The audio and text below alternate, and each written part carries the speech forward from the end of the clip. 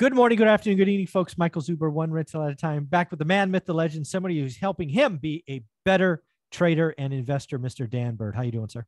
Good morning. I'm doing well. How are you? I'm doing well. So I want to talk about uh, CPI. We obviously have a reading coming out here on Wednesday, the 13th, I believe. And I want to just go back and remind people what happened on June 10th. There was an expectation. These are my words, not yours. I believe Wall Street going into the 10th believed in peak inflation. I believe that they thought they'd seen the highest reading and that good times were to be had. I obviously did not. I called CPI to be higher and I almost called the number exactly. Heading into this week, I think Wall Street once again believes that peak inflation is coming. Uh, it is here. They're actually keeping it flat, 86 to 86. I again think it's going higher. I think it's going to go to at least 88. So we have not seen peak inflation as of yet. So I want to remember what happened on June 10th, or actually June 9th, 10th, and 11th to the stock market when they were c- caught surprised. Does any of that make sense? Sure. It's a very important week this week. Yeah. It could change everything. We are on the cusp. We're right on the cusp.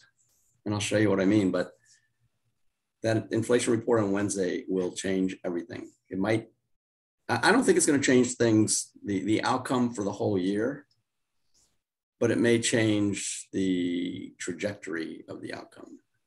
So let's do the audience a favor. For those who didn't watch our videos uh, after the last report, can you can you bring up a chart and, and show what happened last time when CPI came in hot and Wall Street was on the wrong side? Yeah. Let's see. Hmm, let's see. What's a good one? Yeah, this is a really good one. All right, I'm going to share and show you a chart of, make this a little bigger.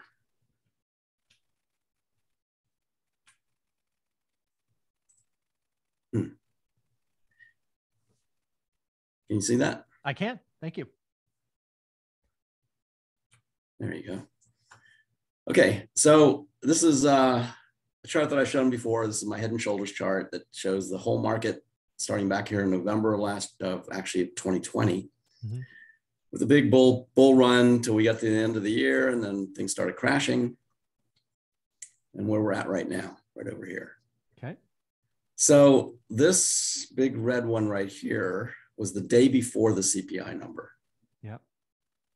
So and most of that was the afternoon as i recall. It was the last couple of hours yeah, you can see that be, before that, leading up to it, the market had had a really nice advance. And then the week before, it's sort of like just leveled off, went sideways, hoping for peak inflation. And if it had, it would have taken off. Correct. But the day before, for some reason, the market either somebody, either a lot of big traders knew what the number was going to be, or they were just being safe and closing all the positions where they made money during this big run up. Yeah, they were going flat, if you will. Going flat, yeah. But anyway, it sold off. Mm-hmm. Ended at the low. Number came out the next morning. The market gap lower, sold off all day. The next day, gap lower, which was Friday. Sold off all day. Mm-hmm. And over the next week, it made a new low. Right. Which Tom Bowley called the bottom. Yep. And we talked about that on the playlist. You can look it up. We'll see if that holds. That's why I put it there. I'm just, you know, just curious to watch it and see if it actually holds. I think that's a genius idea. That's a good idea. Right. So that's what things, that's where things look like right now. Okay. Um, this is the downtrend line. The market is almost right back to that downtrend line. Mm-hmm. Uh, for a lot of reasons, we could, if the CPI number does show peak inflation, we could get an explosive rally. Oh, I, th- I think it's the exact same setup. I think Wall Street is leaning one direction. They want it to go higher. I think Wall Street naturally wants the market to go higher. It's just a natural bias. And I think they're I think they're looking for CPI. Like if CPI comes in, for example, at eight five or eight four, and it leads to quote unquote peak inflation talk, I think you're right. I think it explodes higher. I, I actually think it needs to be at least the lowest number that it's been so far, which is eight three or below. Okay. So you're on a big gap. Okay. Yeah. I think it needs to actually show a lower number. I don't see how that happens in this report. Okay. Well, we're, we're going to find out. Yeah. Um, this is, this shows you some of the reasons why I think we're right on the cusp. Mm-hmm. This is a really critical week. That that report, and we could get a nice rally on Monday and Tuesday. Maybe, yeah. Into it, or at least Monday, and then start selling off on Tuesday, just like the last time. Yeah, people going flat again. Yeah. But this this is where the resistance is. It's at the 50-day moving average, which is at 39.84, and we closed Friday at just about 3,900. Mm-hmm. And it's this downtrend line right here, which is at 39.50 or so. So somewhere in this range, you know, somewhere below 4,000 is significant resistance. So there's a lot of reasons why the market could sell off if it does not get through that. There's also a lot of reasons why the market could have an explosive rally if it does get through that. Mm-hmm. All right. So this is this is why I say it's a really critical week. We are so close to this position that could change everything. Okay. So that CPI report is really, really important. Yeah, there's obviously something else, as you know, that happens next week. I think it starts Tuesday with Pepsi or PepsiCo, and then goes into the big banks. We we start having earnings, which for me, I don't give a rat's ass about Q2 earnings. I care about people's uh, talk about the second half and whether or not they're cutting their earnings expectations? Because we've had multiple compression but not earnings cuts. I don't know if you've seen it. I'm sure you have that the average wall street analyst still thinks that the s&p 500 has 10% earnings growth this year which yeah. i think is nuts. Well we'll find out. I don't think i don't think it's nuts. Okay awesome. Um, i love disagreement. but we'll see if it comes true or not. Yeah. I i think i actually think that the earnings won't be that bad. But again, again, I'm not just be very clear. Projections, I, projections I, will be. I think earnings are fine. The rear view mirror is fine. Right. It's projections. And I honestly think a lot of them, a lot of it, because again, I was an accountant who prepared these reports way back in my career. The CEO and the CFO are right now going, my my shareholders expect the second half to be weak. I need to take this as an, a, time to lower my expectations. An opportunity. So I, yeah, it's an opportunity. If I don't take this, I'm an idiot. Right. That's so right. I, I think there are going to be earnings adjustments, cuts, whatever you want to call it, because the market expects it. If you're a CEO, CFO, you're an idiot not to take it. No, I think that's true. I'm one of the reasons I think earnings are not going to be as bad as what everyone's thinking, even though the projections might come down is this chart that I showed before. Yeah. This is a consumer spending. Mm-hmm. Yeah, it's yeah, it's coming down, but it's earn- not it's nowhere close to the pre-COVID trend. Yeah, the earnings are fine, but as you know, well above it. Oh yeah, no, I agree. I think earnings will uh, the rear view mirror of earnings will be fine. Right. But I expect CEO after CEO after CEO to say, "Oh, supply chain. Oh, inflation. Oh, currency. Oh, strong dollar. Oh, the consumer. Oh, and they're going to go, I'm going to take my earnings expectation down 5%, 7%. It won't be huge, but when you add those up and you take the S&P 500 earnings from 512 to 437 and you throw on a multiple, that means lower S&P 500. So when that happens and if it results in those stocks prices going down, mm-hmm. that's what I mean by putting together a watch list. Yes, that's good com- good companies with real products, good balance sheets. I couldn't agree more. Good cash flow, and if they're one of the ones putting out those warnings and their stock drops, I totally agree. That's exactly where I was hoping we would go. For me, to- bear markets and floors are at least a two-step function. Multiple compression is always first. We are mainly through that earnings cuts is next. And again, they don't have to actually, these, again, I have created these financial reports. These CEOs and CFOs don't actually have to believe that they're going to hurt. They just see an opportunity to lower the bar. And believe me, they are going to take it. Yeah. because they want to earnings beat every time, beat in raise, beat in raise. And if you could take it down in a market where everybody else is, and gonna, then beat it, and then beat it, right? Yeah. So yeah, I, I don't disagree with that. Um, I I think that for the most part, a lot of that's priced in. Right? We're gonna find out. We'll find out. Mm-hmm. Let's revisit my. Oh, I love this one. Rolling inflation chart from last time. Mm-hmm. So I'll update this again Wednesday. Mm-hmm. So, in fact, what I said last time that we looked at this was remember last time we thought this 8.6 would be below the 8.3. Mm-hmm. It wasn't, it was above the 8.3. And it was above the 8.5. And it was above the 8.5, right?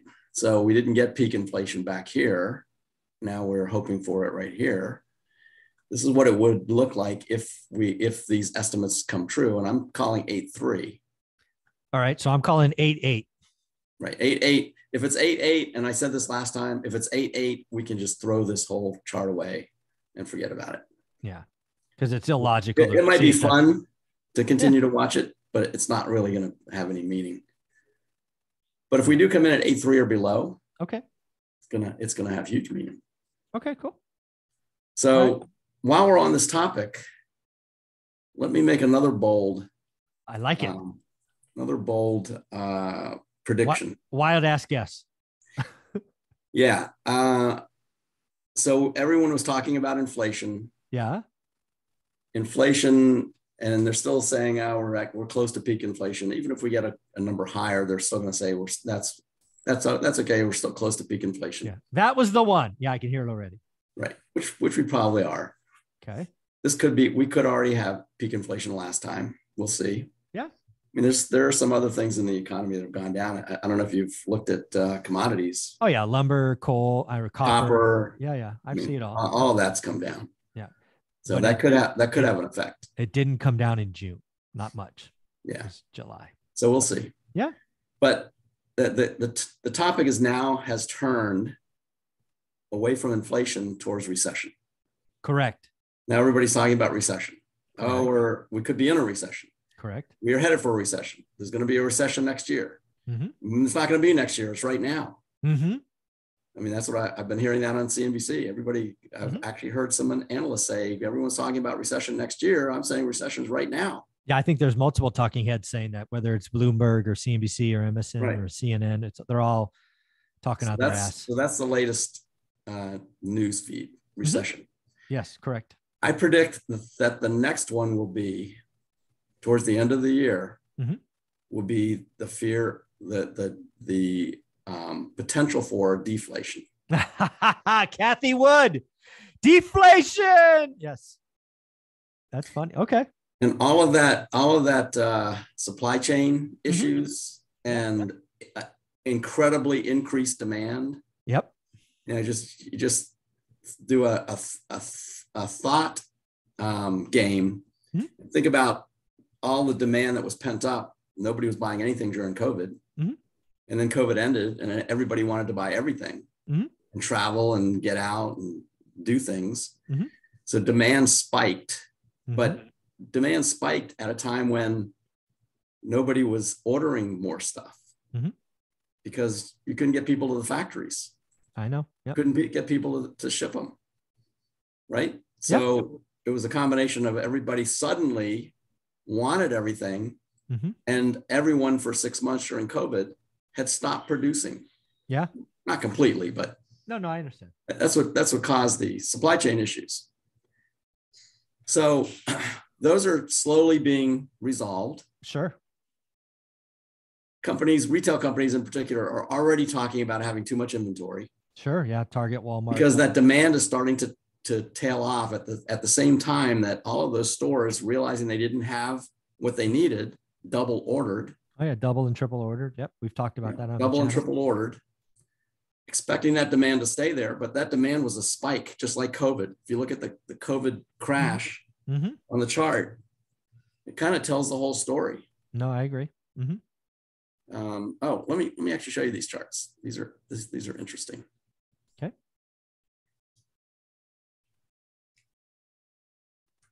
Okay, so here's the COVID COVID crash.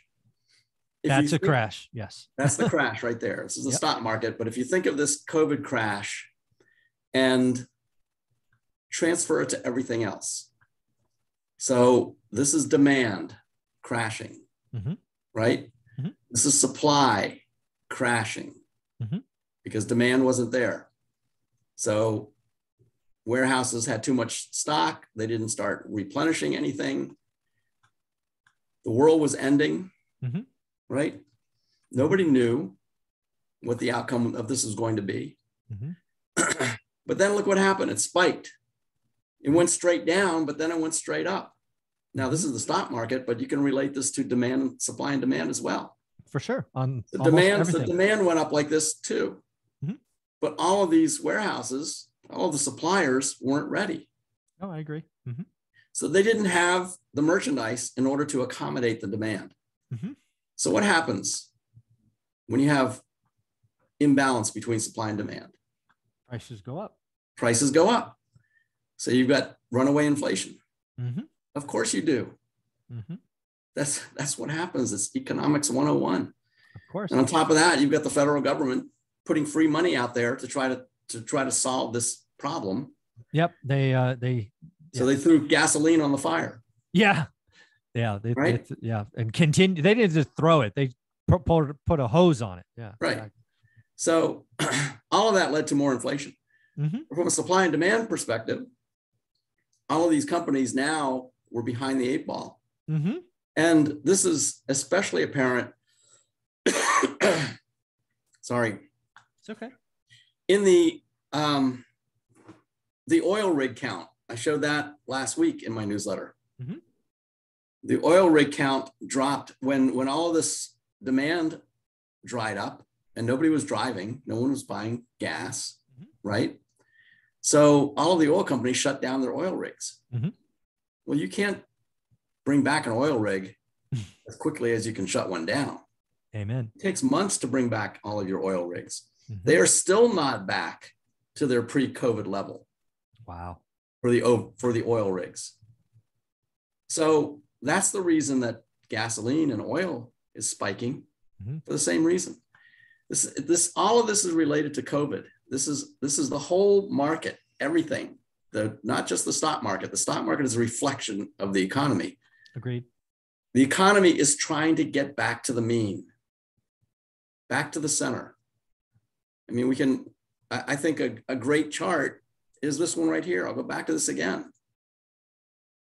This is real spending. Mm-hmm. The red line is the trend pre-COVID, the pre-COVID trend line. Everything is trying to get back to that pre COVID trend line. Mm-hmm. Everything oil prices, supply and demand, consumer spending, everything is trying to get back to this pre COVID trend line. So spending is still high, it's not back there yet. So, what that means is that we, you know, we went up right here to the, the beginning of 2022, and now we're we are trying to get back to the mean essentially. Well, you probably have this, or you probably get it. What would the trend line be if you took S and P 500 like 2016 to 2019 and extrapolated that? Um, think I have a chart that yeah show, I'm, I'm, shows that actually. I'm sure you do. Um, it was a this one here. This is the trend line from 2009. Okay. I mean that that would bring it all the way down to 3,000. Yeah, so you, it's, pro- it's probably above that if you really look at it. That's yeah, it's it's this is the COVID crash right here. Right. So it's somewhere in that range. But it, I mean, even if you were to raise that trend line, it still says kind of 3,900, 4,000 is maybe the trend in that last thousand. Again, I think the stock market had a thousand points of fakeness. Yeah, right. Okay. No, I see what you, I see what you're saying. More than a thousand. Okay. If you're talking about the S and P. Yeah, I was. Whatever that chart is. Yeah. So we're, we're at we've we were already at a thousand. Could could go a little bit more. Could yeah. go down to thirty five hundred. Okay. Um, the but, other thing, the other thing, just so I mean, you've brought this up many times. When markets correct, they generally don't just go to the mean; they overcorrect right. and then work back. Right. Normally. Normally. So back to the conversation about. Um, so you think deflation is the hot topic? Call it November. So, December. so all of that, all of that supply chain issues that occurred over here are going to get reversed. No, I. It's funny. I told my audience back in December to move. I actually advised everybody to move Christmas from uh, December to July because this, this is what I told them was coming. All those people are triple ordering. I know those people. They're going to triple order. It's going to show up in the summer. Everything's going to be on sale. There was somebody that sh- sent me a picture of a coat at like one discounter. Normal $99 on sale, $9.99. Right. Move Christmas. Do your Christmas shopping right. Folks, if you have kids and you don't shop right now for Christmas, you are missing an opportunity. Yeah. And everything that happened the, as a result of this big dip right here. Yep. High gas prices, high inflation, high CPI numbers, mm-hmm. out of whack supply chains. Mm-hmm. All that will be the reverse by the end of the year. You think it'll reverse by the end of the year? That's a bold call. I think we'll have deflation. So, think, so let's talk about it. Deflation in, like, so, uh, so you think CPI goes negative? Uh, no, I don't think CPI will go negative. I think the, the cost of goods will go down. The cost of gas will go down. Okay, but let's let's just talk about it because inside CPI, as somebody who looks at it all the time, there are three big factors. We're talking headline, not core. Right. Headline, not core. So gasoline, thirty some odd percent, right? All the all, you know energy, I guess. So between today and the end of the year, your call is it that goes down just between today, which is July, and the end of December. Oil is down. I think it's trading at 100 bucks a barrel. You think it goes down from here? Yeah. Okay. Food. I think Again, food will go down. Wow, that's a bold call. I think I, everything. I, I think, think I think we'll be talking about deflation at the end of the year. So I think some people are talking about it already. Some of that is hope, i.e., Cathie Wood. Um, right. It's funny. I look at I look at oil and I could certainly see it. No question. I can see your picture. I also know we have a external um I don't know, dictator or whatever he's called, Putin, who if he decided to shut off the spigot to Germany, throws all of this out of whack. Looking at what again, this is from the All In podcast. It's from memory. Essentially, right now, the world has about a million barrels of oil surplus if Putin shuts off oil to Germany and the rest of Europe, we go into a negative. And they they said that if that happened, oil could spike to 175 and worst case uh, 250 or something. But what I'm saying is the market could naturally lead to deflation. Unfortunately, there's the black swan of what does Putin do? Yeah. Okay. But uh, I don't base my investing decisions on black swans. No, no, I'm just, I just by definition, just, by definition, you can't. Well, I don't know if this, so this, so this is not an out of, this is not an unknown, unknowable, right? This is actively going on right now. Right. Um, but yeah, uh, it's it's funny. I don't know. I've thought about oil a lot because it is, especially as we head into winter, right? It is impacts the East Coast, heating oil and things that I don't have to think about in California. Some of my real estate friends are educating me on it, it could be a problem. Yeah. Oh, yeah. No question. I mean, the, it, uh, the oil conversation, it, just take Putin out of it for a second. No, agreed. Yeah. It could, yeah. it could still be an issue. I yeah. mean, the, we, we have completely destroyed our energy program. Yeah. We went from being energy independent to right. so much. I totally yeah. agree. Totally a mistake, in my opinion. Yeah. A t- complete ridiculous mistake. Yeah. Easily avoided. Yeah, and on and fixable, frankly. But yeah, well, it's deliberate. So yeah, yeah, yeah, it is. It was yeah, it was done on first day of office. It's yeah. Right. Okay. Deliberate to try to make us all drive uh, electric cars, among other things. Yes. Yeah. Yeah, it's gonna be. It, it, I don't know. I'm just trying to think right now. Again, I love making bold calls because you know part of part of having fun is putting it out there. Is oil under a hundred bucks December 31st? Folks, let me know what you think below. Leave comments below. I think so. I am. Uh, yeah, I'll go with that. Uh, I'll say it's under 100. This is um, from my newsletter two weeks ago. Mm-hmm. That's the uh, rig count going up. Yeah, rig I remember, count. I remember. I read this article. I read it covered or whatever, top to bottom. This, this comes out every week. It's so it's a little bit higher. It's, I think it's above 600 now. But you can see how fast they close the rigs down Yeah, it's easy to shut a rig. It's hard to get them started. and how slowly they're bringing it back. But they are coming back. So you know, everything's everything is trying to get back to that mean, trying to normalize. Yeah, I'll go. I'll go with that. I'll. I'll. I'll uh, yeah, I'll say oil again. Wild ass guess is under 100 on December 31st or December 30th or whatever the last trading day of the year is. Right. But food though, food's an interesting one.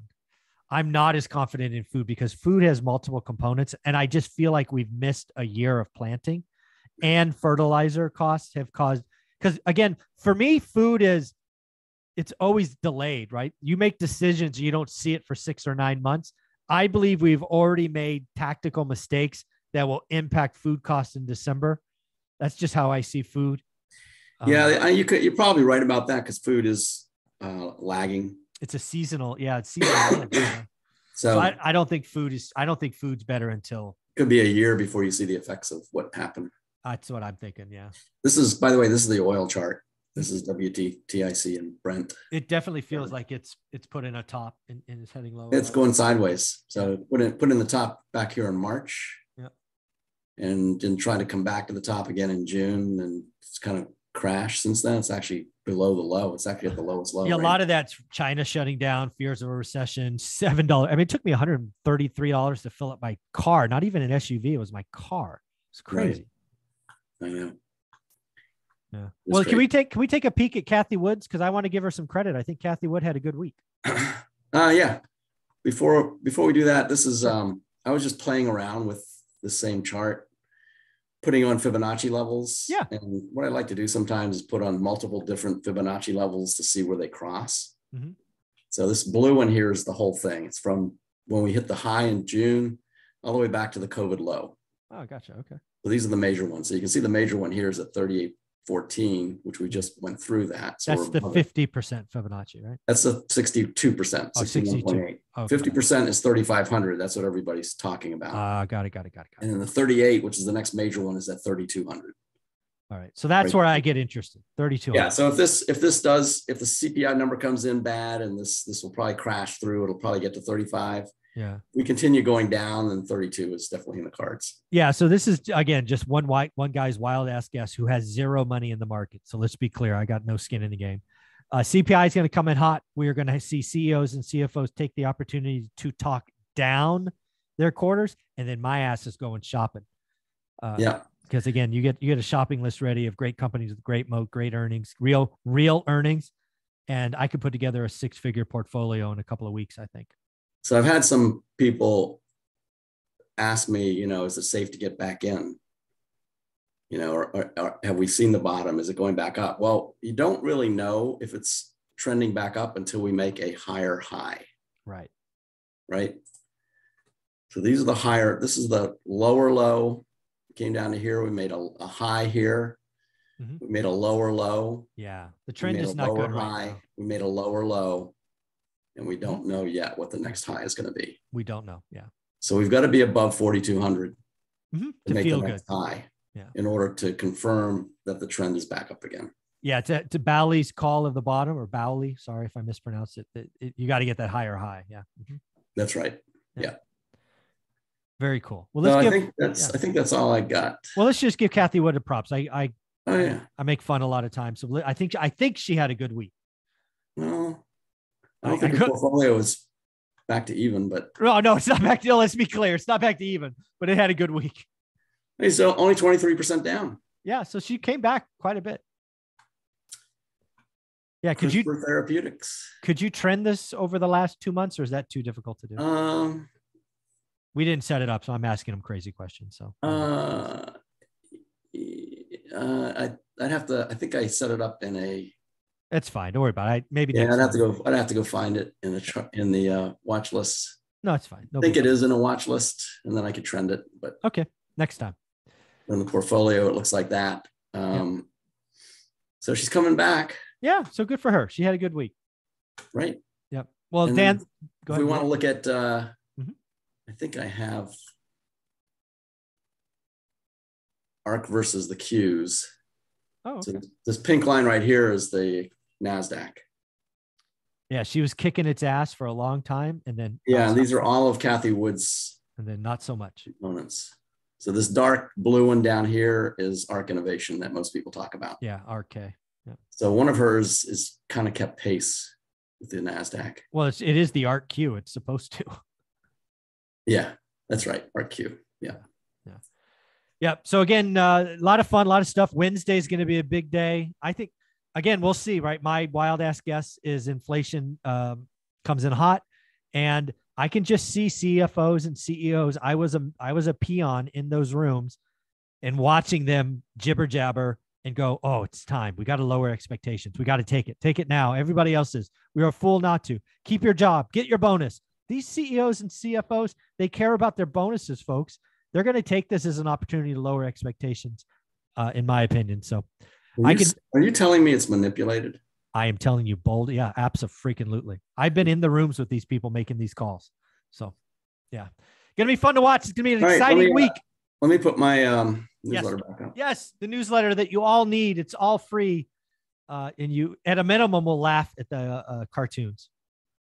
And by the way, I, I showed this a long time ago, but this is kind of the cycle of the market. And if you remember that chart I just put up a little bit ago, what it actually Yeah. looks like, it looks very similar to this. It does. In fact, we haven't even come down as far as this. Yeah, we've not we've not had capitulation. I don't think we've even had capitulation. We've had some denial, Yeah, had a little bit of panic. we yeah that that CPI day that was a little bit of panic. That was two, panic. Two could- two gaps and, down. and that could happen. We could get capitulation next week. We could, we could. what I like to see for capitulation is a big sell-off with a big spike in the VIX. Yeah, I want to see VIX at 41. Right. Get the VIX over 40 with a big sell-off. Yeah. And that's the time to start getting Get in. greedy. Yeah. So this is at breakpointtrading at gmail.com. If you want to uh, get this, if you're listening to the podcast, breakpointtrading at gmail.com. Dan, thank you for your time. We will You talk bet. next week. I'm sure it will be exciting. Have a good weekend. You too, buddy. Feel better. Take care.